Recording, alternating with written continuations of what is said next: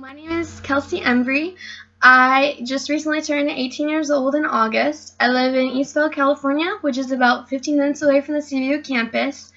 I love California. I don't think I would ever consider moving anywhere else. It's just a really beautiful state, and I love it.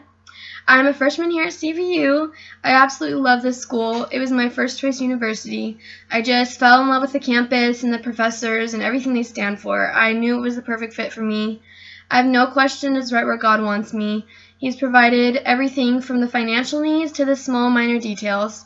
I'm majoring in nursing.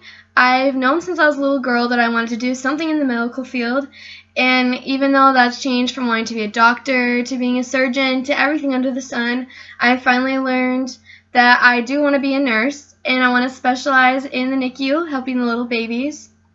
I was homeschooled all throughout high school, and I played basketball through Christian Heritage. I made some of my best friends homeschooling and playing sports, and I wouldn't change a thing.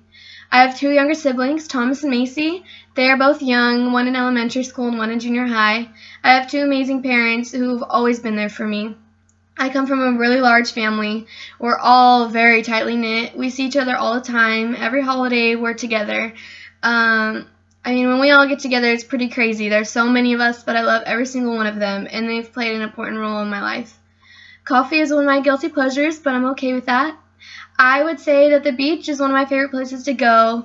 I just think it's a beautiful display of like God's creation, and it's just breathtaking.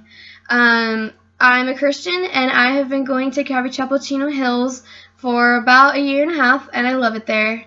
Um, Jesus is the absolute rock of my life, and I just am so blessed by everything He's given me, and there's just no doubt that um, He's provided for me from A to Z.